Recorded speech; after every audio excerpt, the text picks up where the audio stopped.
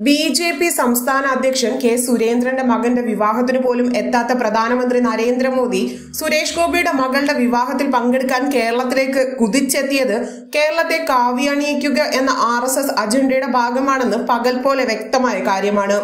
രാജ്യത്ത് തന്നെ ഏറ്റവും കൂടുതൽ ആർ എസ് എസ് ശാഖകളുള്ള കേരളത്തിൽ നിന്നും ഒരു എം ബി എ ഇതുവരെ വിജയിപ്പിക്കാൻ കഴിയാതിരിക്കുന്നത് പഴയ ആർ എസ് എസ് പ്രചാരകൻ കൂടിയായ മോദിയെ സംബന്ധിച്ചും വലിയ നാണക്കേടാണ്. ഈ നാണക്കേട് മാറ്റാനാണ് ഇത്തവണ അദ്ദേഹവും അരിയും തലയും മുറുക്കി രംഗത്തിറങ്ങിയിരിക്കുന്നത്. സുരേഷ് ഗോപിയിലൂടെ തൃശൂർ ലോക്സഭാ മണ്ഡലം പിടിച്ചെടുക്കുക എന്നതാണ് മോദിയുടെ ലക്ഷ്യവും. തൃശൂരിൽ സുരേഷ് ഗോപിയുമൊത്ത് നടത്തിയ റോഡ് ഷോയ്ക്ക് പിന്നാലെ ഒരു ചെറിയ ഇടവേളയ്ക്ക് പോലും നിൽക്കാതെയാണിപ്പോൾ സുരേഷ് ഗോപിയുടെ മകളുടെ വിവാഹത്തിൽ പങ്കെടുക്കാൻ മോദി വീണ്ടും കേരളത്തിൽ ലാൻഡ് ചെയ്തിരിക്കുന്നത്. കൊച്ചിയിലെ പ്രധാനമന്ത്രിയുടെ റോഡ് ഷോയും കേരളത്തിലെ ബി ജെ പിക്ക് ഉണർവേകുന്നതിനായി സംഘടിപ്പിക്കപ്പെട്ടിട്ടുള്ളതാണ്. ഇത്തരത്തിൽ തിരുവനന്തപുരത്തും അധികം താമസിയാതെ തന്നെ മോദി റോഡ് ഷോ നടത്തുമെന്നാണ് ലഭിക്കുന്ന വിവരങ്ങളും.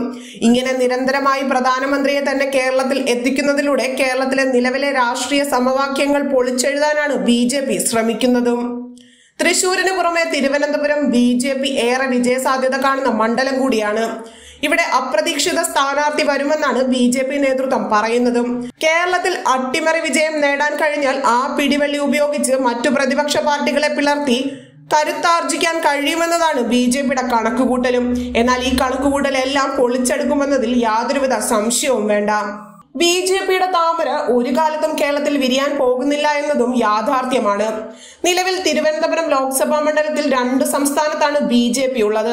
തൃശൂരിൽ അവർക്കുള്ളത് മൂന്നാം സ്ഥാനവുമാണ്. എ ക്ലാസ് മണ്ഡലമായി ബി ജെ പി ദേശീയ നേതൃത്വം കണക്ക് കൂട്ടുന്നത് ഈ രണ്ടു മണ്ഡലങ്ങളിലും ദേശീയ നേതാക്കളും കേന്ദ്രമന്ത്രിമാരുമാണ് തമ്പടിക്കാൻ പോകുന്നതും.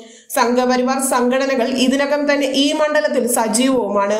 കേരളത്തിലെ വിജയം പ്രധാനമന്ത്രിയുടെ അഭിമാന പ്രശ്നമായി മാറിയതിനാൽ രാജ്യം തന്നെ ഉറ്റുനോക്കുന്ന കടുത്ത മത്സരമായി തൃശൂരും തിരുവനന്തപുരവും ഇത്തവണ മാറും. നിലവിൽ തൃശൂരും തിരുവനന്തപുരവും കോൺഗ്രസിന്റെ കൈവശമാണ് ഉള്ളതെങ്കിലും നിയമസഭയിലെ ബി ജെ പി അക്കൗണ്ട് പൂട്ടിച്ച് ഇടതുപക്ഷത്തിന്റെ നീക്കങ്ങളെയാണ് ബി ജെ പി ദേശീയ നേതൃത്വം ഗൗരവത്തോടെ ഉറ്റുനോക്കുന്നതും. തൃശൂരിൽ വി എസ് സുനിൽകുമാർ ഇടതുപക്ഷ സ്ഥാനാർത്ഥിയായാൽ ബി ജെ പിയും ഇടതുപക്ഷവും തമ്മിൽ നേരിട്ടുള്ള മത്സരമാണ് നടക്കാൻ പോകുന്നത് എന്നതാണ് ബി ജെ പി വിലയിരുത്തുന്നത്.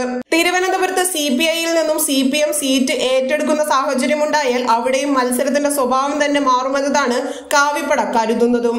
നിയമസഭാ തെരഞ്ഞെടുപ്പിലെ കണക്കുകൂട്ടൽ വെച്ച് നോക്കിയാൽ തൃശൂരും തിരുവനന്തപുരവും വ്യക്തമായ മേധാവിത്വം ഇടതുപക്ഷത്തിനുമുണ്ട്. രണ്ടായിരത്തി പത്തൊൻപതിലെ ലോക്സഭാ തെരഞ്ഞെടുപ്പിൽ വയനാട്ടിൽ മത്സരിച്ച രാഹുൽ ഗാന്ധി പ്രധാനമന്ത്രിയാകുമെന്ന് കണ്ടു നൽകിയ വോട്ടുകളുടെ ബലത്തിലാണ് ഇരുപതിൽ പത്തൊൻപത് സീറ്റുകളും തൂത്തുവാരാൻ യു ഡി എഫിന് കഴിഞ്ഞിരുന്നത്. എന്നാൽ ഇപ്പോഴത്തെ സ്ഥിതി അതല്ല. രാഹുൽ പ്രധാനമന്ത്രിയാകുമെന്ന പ്രതീക്ഷ കോൺഗ്രസ് നേതാക്കൾക്ക് തന്നെ നഷ്ടപ്പെട്ടിരിക്കുകയാണ്. ആ അവസരത്തിൽ ഇന്ത്യ മുന്നണിക്ക് ഭൂരിപക്ഷം ലഭിച്ചാൽ പോലും കോൺഗ്രസിനെ പരിഗണിക്കാനില്ലാത്തതാണ് ആ മുന്നണിയിലെ അവസ്ഥ. ഈ യാഥാർത്ഥ്യം തിരിച്ചറിയുന്ന കേരളത്തിലെ മതന്യൂനപക്ഷങ്ങൾ മാറി ചിന്തിച്ചാൽ അത് ഇടതുപക്ഷത്തിന് തന്നെയാണ് ഗുണം ചെയ്യാൻ പോകുന്നത്. കൂടുതൽ വാർത്തകൾ അറിയുവാനായി ഈ ചാനൽ സബ്സ്ക്രൈബ് ചെയ്ത് ഫോളോ ചെയ്യുക.